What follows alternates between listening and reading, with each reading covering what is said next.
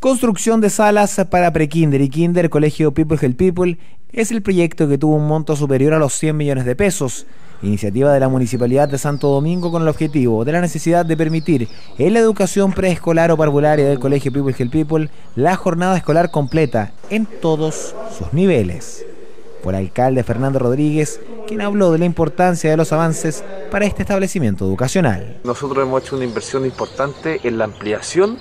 de las salas de kinder y pre-kinder.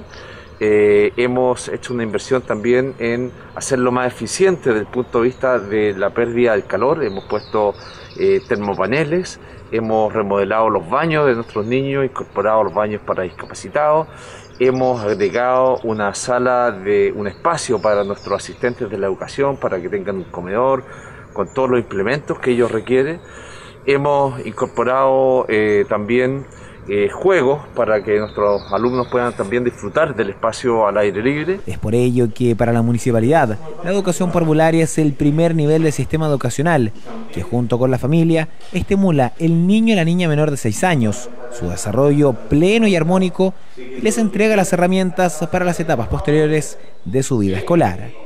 Punto que destacó Luis Vega Molina, director del Departamento de Educación Municipal. Todo este proyecto nace por la necesidad de poder contar con mejores y adecuados espacios para el desarrollo de los procesos pedagógicos de los niños y niñas de prekinder y bajo la mirada también que nos ha entregado la municipalidad, cierto, de mano de nuestro alcalde, don Fernando Rodríguez, que ha pedido que eh, establezcamos las mejores condiciones para el aprendizaje de nuestros estudiantes en la comuna de Santo Domingo. La construcción de esta nueva infraestructura que está ubicada en el área poniente del Colegio People Help People tiene una superficie total construida de 270 metros cuadrados, la que contempla dos salas de clases, baño para los escolares y profesores, sala comedor, sala enfermería, bodegas y zona y áreas recreativas de juego